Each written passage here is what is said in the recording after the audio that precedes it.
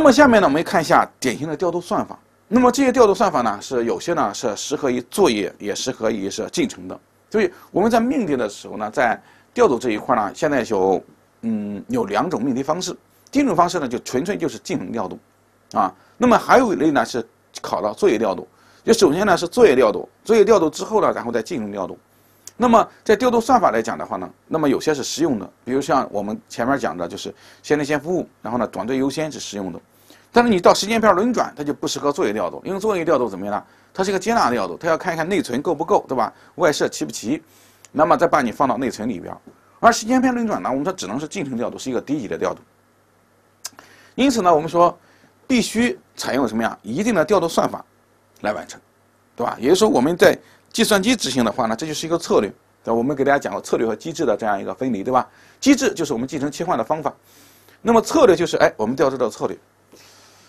那么看一下第一个先来先服务和第二个短对优先。那么这两个呢是最简单的，考的也非常多的，大家也不会出错的两种算法。先来先服务就是按作业或者进程，就是这两个呢是作业进程都可以啊，就作业和进程按它的进入的先后顺序来进行调度。这就是我们超市目前的什么呀？哎，购物的时候这样一个调度方法，谁先来的谁先结账，对吧？先来先服务。那么这是非常简单的，非常简单的。那么我们说，在做这些相关的题目的时候，大家注意，我们有到达时间、服务时间、开始时间、完成时间、等待时间。啊，到达时间是什么呀？是到达这个就绪队列的时间。服务时间怎么样呢？就说你需要 CPU 用多长时间？开始时间什么？就是你开始用 CPU 的这个时间。结束时间、完成时间就是哎，你从 CPU 出来的时间。那么等待时间是什么呀？我们说等待时间就是你的开始时间减去你的。到达时间，然后，这是你等待时间。那么周转时间大家就知道吗？周转时间是你的完成时间减去你的到达时间。那么它也等于什么？等于你的等待时间再加上你的服务时间，对吧？你等的时间加上你服务的时间就是你的周转时间。那么你到达时间，我们说，呃，到达时间到你完成时间之间的这件时间呢，就是一个周转时间。所以这几个术语呢，在命题的时候呢，有的时候是给出来其中的一个、两个或者多个。啊，你要直接知道他们之间这种算换算关系。另外，带权周转时间，周转时间除上你的服务时间，就是你的带权的周转时间。有了这些时间之后呢，我们就找个题目啊，练一下这个先来先服务。那么先来先服务呢，要先来先出。首先呢，我们把进程给大家先列出来。我们有五个进程，它的到达时间呢是不一样的，它们的服务时间呢也不一样的。那么在这儿来讲的话，我们说。按照先来先服务的原则，啊，我们说在零时刻的时候只有 A 来了，也就是说就绪队里边就 A 一个人，那当然怎么样呢？我们优先服务 A 对吧？这个没什么没什么毛病。因此呢，A 呢是从什么呀零时刻开始，也就是说它到达时间呢是零，它服务时间是四，那么它什么时候开始服务呢？到达时间就是什么呀？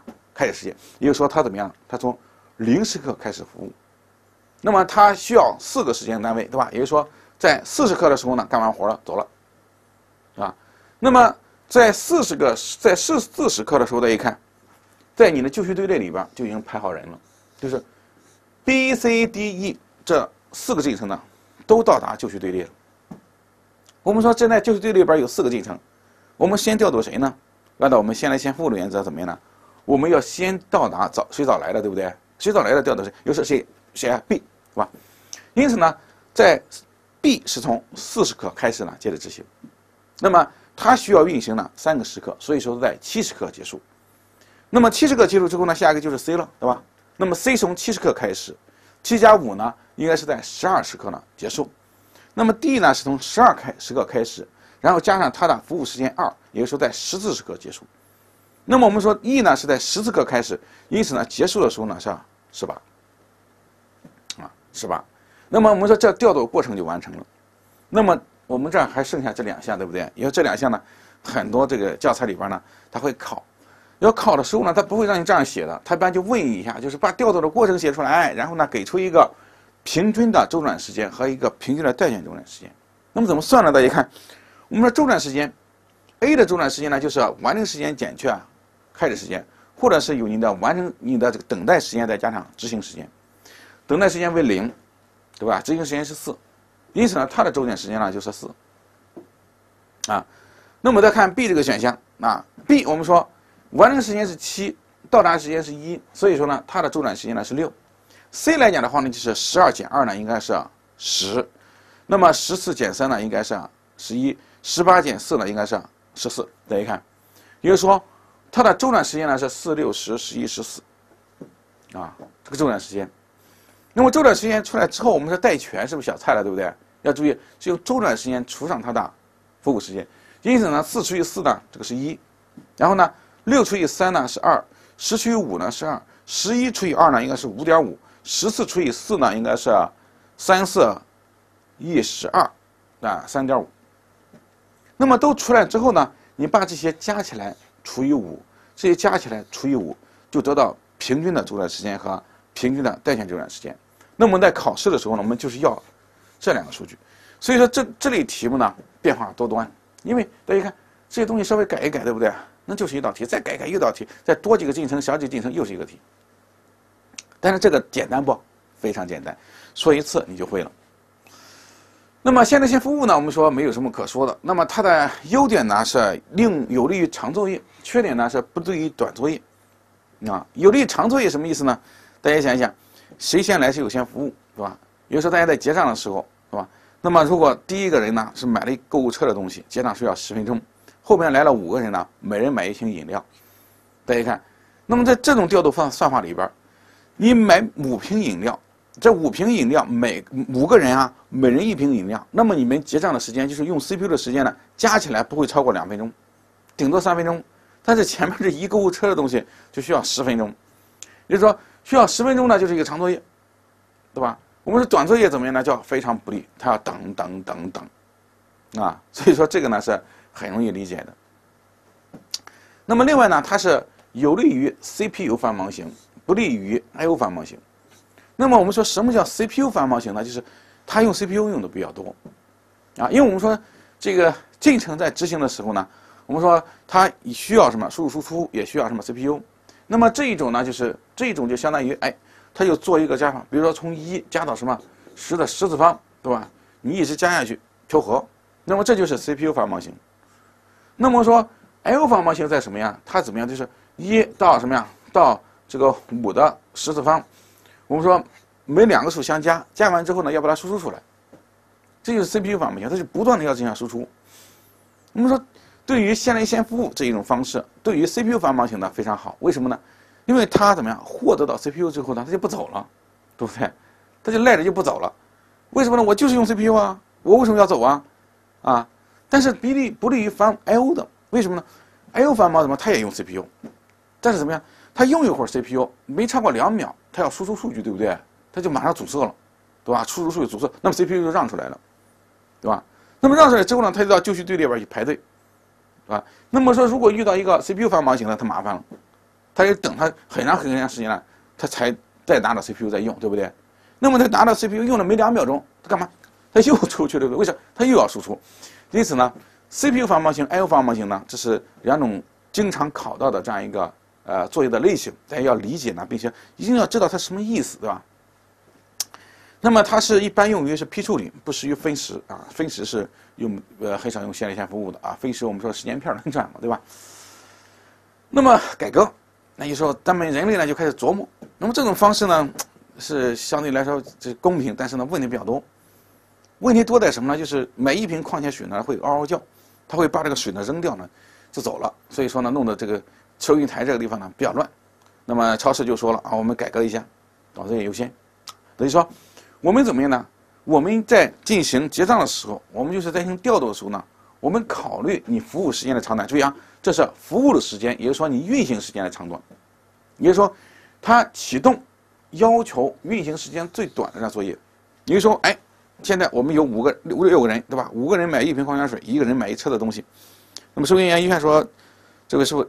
稍微等一下行吧？你看他们都买五瓶水，啊，就是呃不是一人买一瓶水，我给他们结完账呢，顶多我手段快一点，你们都要求用微信支付，啊，我说我支付宝支付扫码支付，啊扫码支付，那么我呢大概能一分多钟就把它把他们都服务完了，那他们就走了，咱再慢慢的结账，那这这没问题对不对啊？我说本来他要他就要服务要十分钟对吧？你多出来这一分钟他觉得就没有没有关系了，对吧？这是这就是用户的感觉嘛。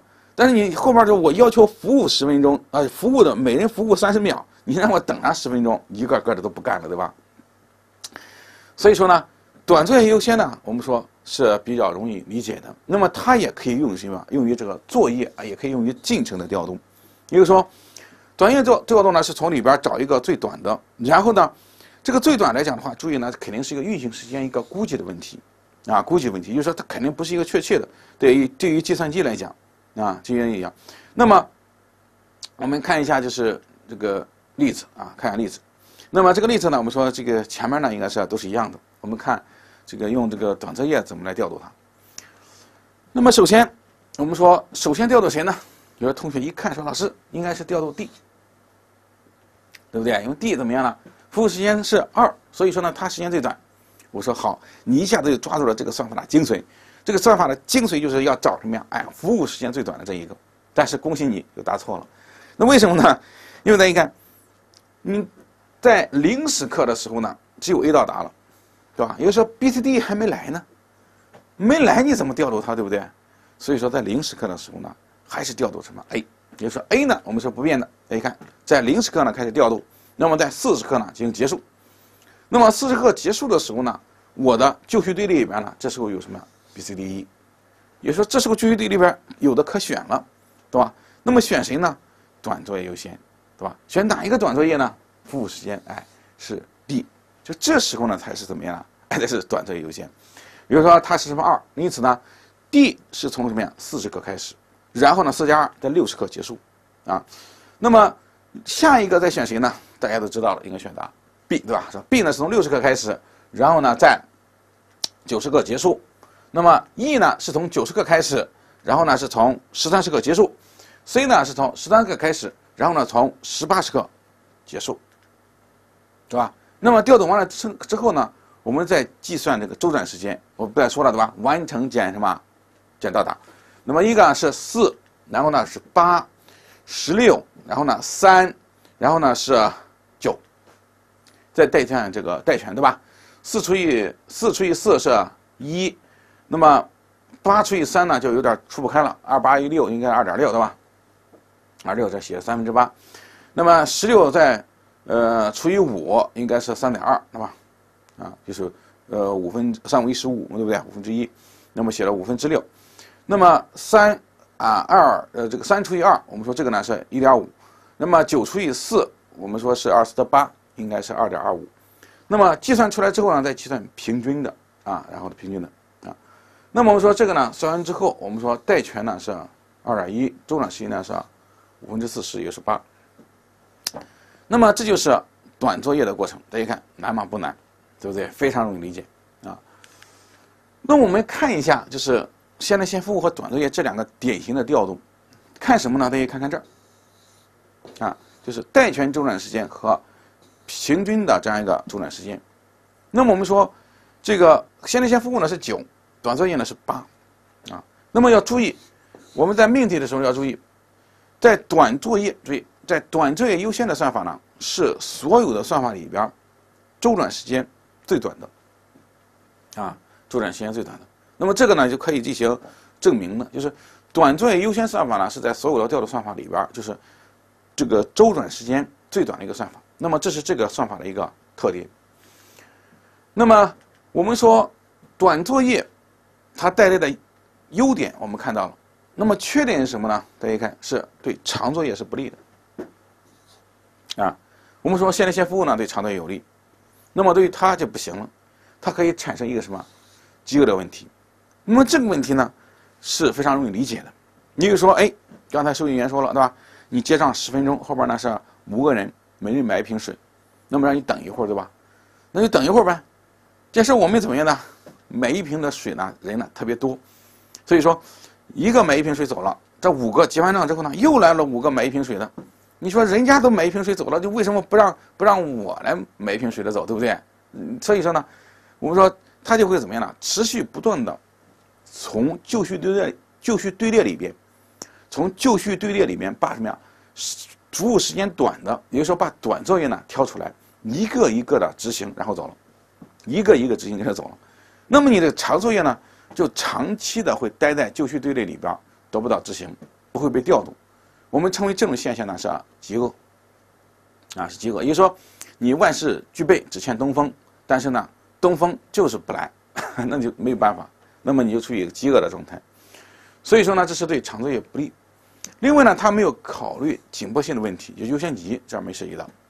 那么另外呢，我们说这个长短呢是一种预估，对吧？预估有可能你好心怎么样，让了一个结账的人过来，看他拿的东西比较少，但是呢，哎。他扫码扫的挺快，但是呢，他用现金结账，那么结账的时候呢，还 比较这个另类呢，掏出来一把什么一把这个硬币或者毛票，他要什么？他说我这是是是是是七十块钱的，你给我数一数嘛。那这麻烦了，对不对？所以本来好心怎么样呢？哎，结果等的时间特别长，所以说会存在这种问题啊。那么我们再看下一个，就是高优先权啊。那么优先权优先权的调度呢，它。分为两类，对吧？一种是抢占的，是一种非抢占的，啊，实际上就是我们大家看，我们的短作业优先呢，它就是一个优先权的了。因为短作业优先的优先权呢，在于什么？你的时间的这个短是它的一个优先权。那么这儿优先权呢，是在每个进程考虑它的紧迫性的基础上呢，给它加上一个什么标签儿，来注明它是一个优先权高还是低。同时呢，支持我们的抢占和非抢占。那么主要是抢占，因为抢占的话呢，使我们的优先权呢会，哎得到彰显，也就是说相当于特权一样，对吧？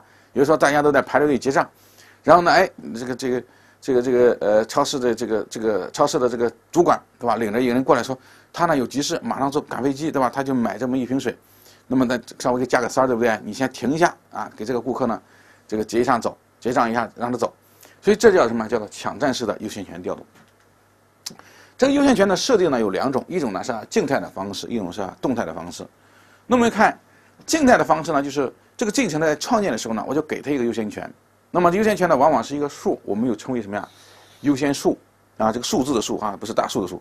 那么这个优先数呢，我们说在哪儿呢？大家看，在这个 Windows 系统啊，Windows 进程里边，我给大家做过这个结果的图。这图里来来讲的话呢，对每一个进程呢，它都有一个什么优先级，对吧？所以说呢，这叫一个。优先数，啊，我们一般默认呢，这个数越小，这个优先权呢越高，啊，注意哈，这是一个默认的啊。如果题目里边告诉你，我给它个优先权，这个优先权值呢是 x，说 x 值呢越高，那优先权越大。那么你要看明白啊，因为很多同学呢在做这类题目的时候，在这儿吃亏了，因为我们书上来讲话呢，就是默认这个优先权呢越小，它的什么呀，它的优先级越高。但是有些题目里边呢，它就明确怎么样呢？哎。它越大越高，你要注意这个问题，因为这个没有完全固定啊，没有固定。那么优先权来讲的话呢，就是它开销小，不够精确啊，不够精确，也存在一些相关的这样的问题。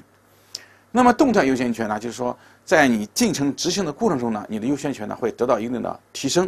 比如说，我们可以规定，在就绪队列里边，那么等待时间等的越长了，那么优先权呢就一定数量快速增长。那么这样的话呢？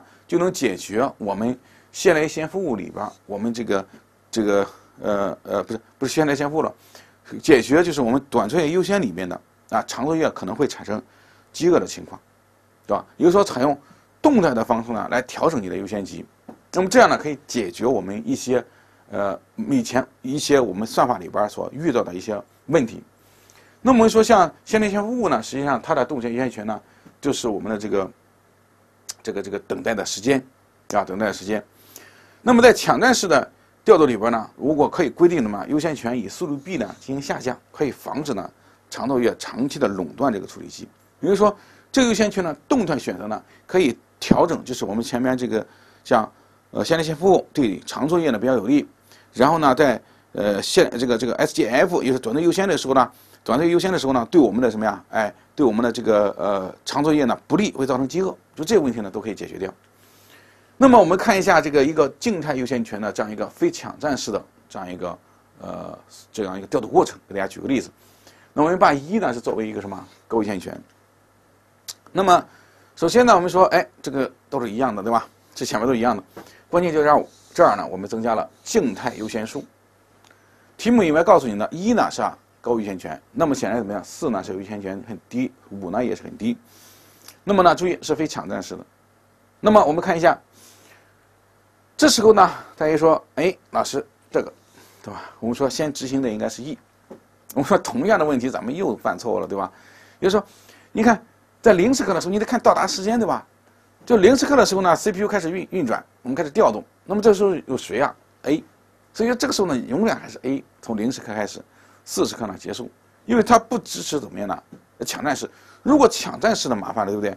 因为抢占式的话，你要考虑到它的优先数优先权是四，它的是二，对吧？它比它优先权要高，所以说呢，它在执行一个时刻的时候呢，B 来了，所以说呢，B 就把 A 呢踢掉了，也就是说 A 呢执行执行一个时刻，下一个是 B。那么这就是抢占式的。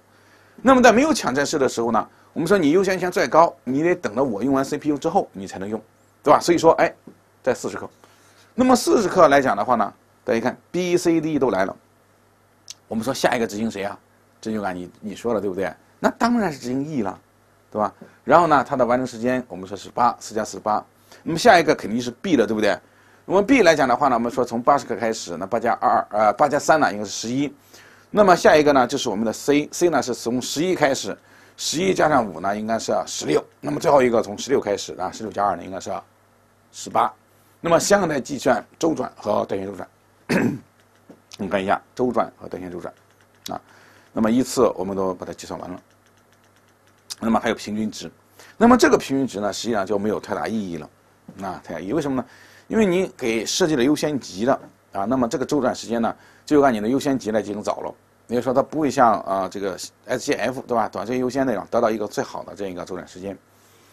那么另外呢，就这个题呢，给大家留个作业，大家去尝试做一下。如果是抢占式的话，该怎么做？其实我刚才提了一点，对不对？